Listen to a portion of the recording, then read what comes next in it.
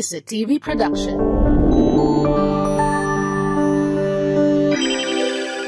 Your only island TV channel.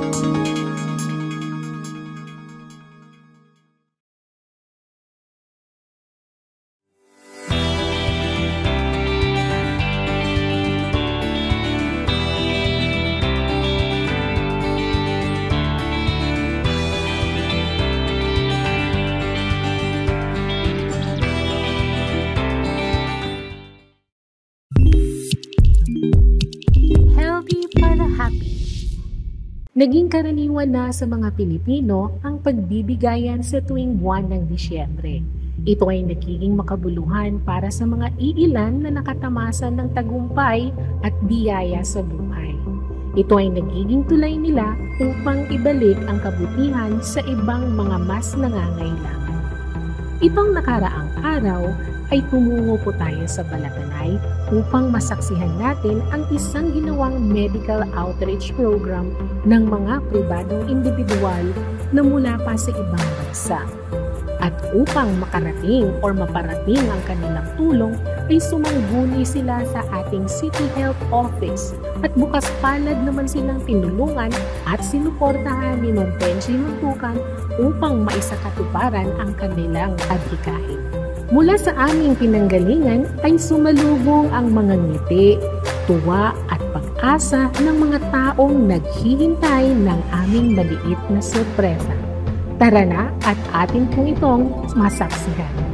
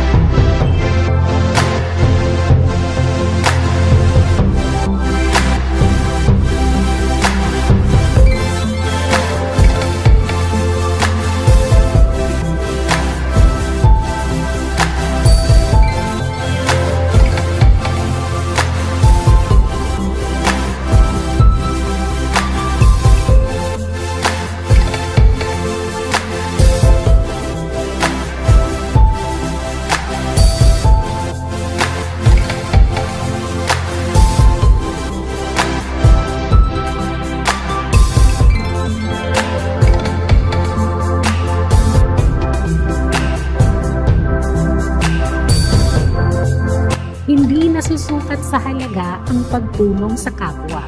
Sabi nga ng iba, hanggat kaya mo gumawa ng kabutihan sa iyong kapwa, sa mundong ito ay gawin mo na.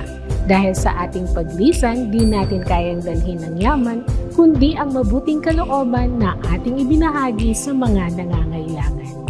Magandang umaga sa ating lahat. Tayo ay nagpapasalamat kahit patap patapos na yung year ng 2022, at least nagkaroon pa rin tayo ng ganitong class of activity dito sa Balatanay, ang pinaka-last na barangay sa Isabela City. Nagpapasalamat tayo ang ating team ng City Health Office with the City Information Office dahil sa ganitong ganap na ginawa dito sa Balatanay. So itong mga activity na ito, isa sa mga program ng Department ng City Government of Isabela para ma- ma-maintain yung yung healthy na sinasabi natin na magiging healthy Isabela po tayo in, in the manner na nagpapa medical outreach tayo, may dental tayo, so meron tayong tuli. So ito yung sa mga, activity na talagang ah, ginagawa ng City Health Office to serve the underserved, knowing Balatana is the last barangay na dito sa Isabela City. So natutuwa kami, naging parte kami ng nagtuklas sa mga activity. At nagpapasalamat tayo, meron tayong sponsor na sinasabi natin, ah, the woman who having a big heart to help the kita ng mga poorest of the poor. So, nag nagpapadala siya usually. Matagal na siyang sumusuporta sa amin, especially sa mga tuli operation po, even before pandemic. So, sabay, tuloy-tuloy pa yung papapadala niya sa amin ng sponsors niya. And she is Ophelia Williams of HDP. So, maraming maraming salamat uli at mabuhay tayong lahat. Hi, hello everyone. Maraming maraming salamat sa pag-invite sa akin. Really, ano, honored to be part of this um, medical mission. Lalo pang pag-iipihan na humingi ng tulong sa ating mga nagtatrabaho sa States, sa hospital, ngayon mismo yung ginagawa sa perang pinadala ko. And I saw it myself. It's really an honor to be part of this uh, community. Although hindi ako taga rito, I'm originally from Ilocos, but has been residing in the United States for over 37 years. So, I just want to make sure na gusto ko tumulong ulit I will make more effort to get more people to help us para matulungan ko ang community. And thank you again for having me a part of this event and community. Maraming maraming salamat.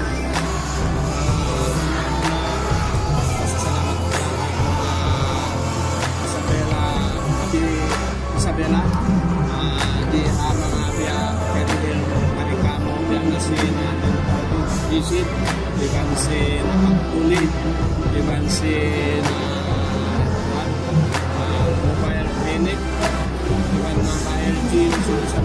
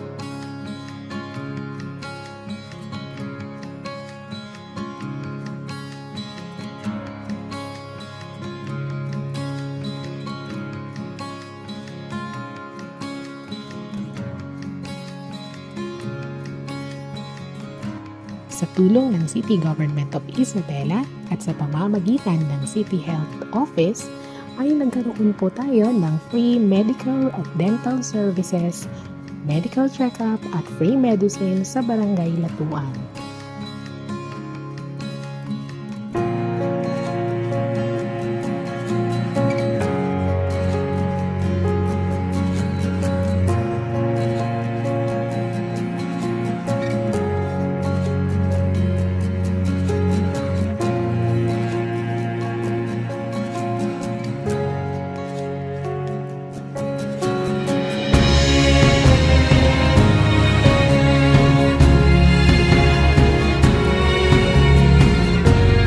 Naging matagumpay ang hakbang na ito at ito ay muling nakatulong sa ating mga kababayan na maibsan ang kahirapan na kanilang nararamdaman o kinakaharap sa mga pagkakataong ito.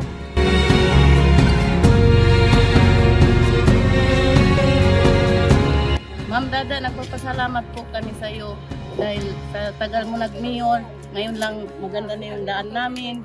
May siminto na tapos apat bisis na kami ngayon na bisita ng mga doktor. Wala na yung nag-mayor. Kaya maraming maraming salamat sa iyo.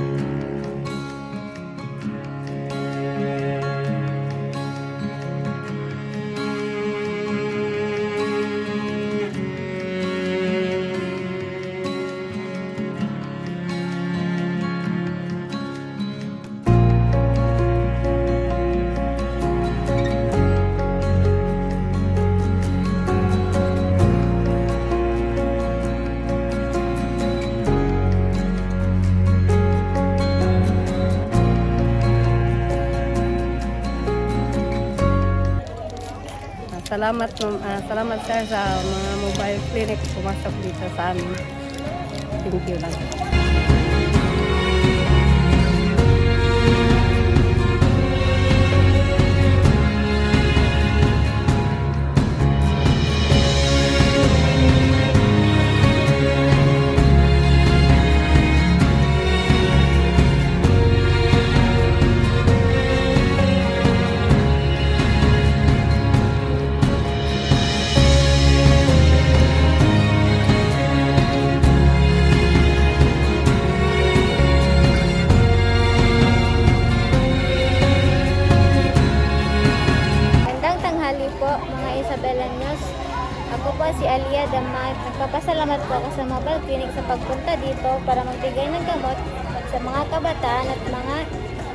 Nanay na tulad namin. Maraming maraming salamat po talaga.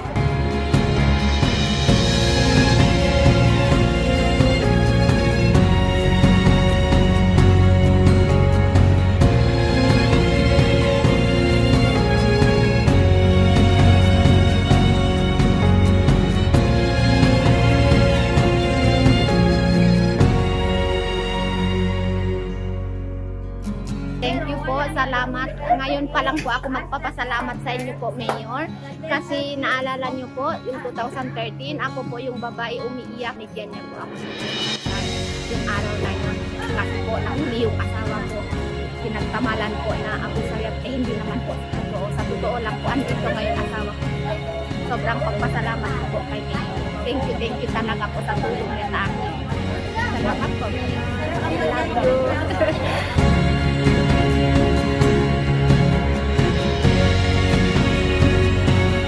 Sa muli pong pagtulong ng ating City Health Office ay walang tigil po tayong nakikialam, nakikimasid at nakikiramdam sa mga lahat ng taong nangangailangan, lalong-lalo na po dito sa Isabela City.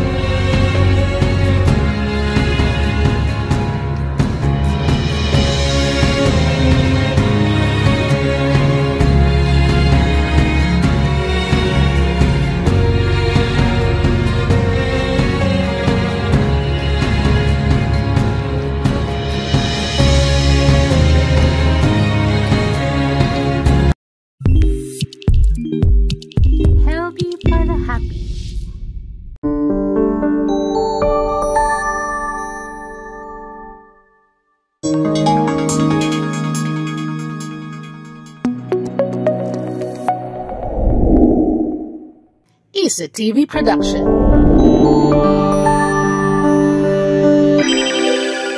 Your only island TV channel.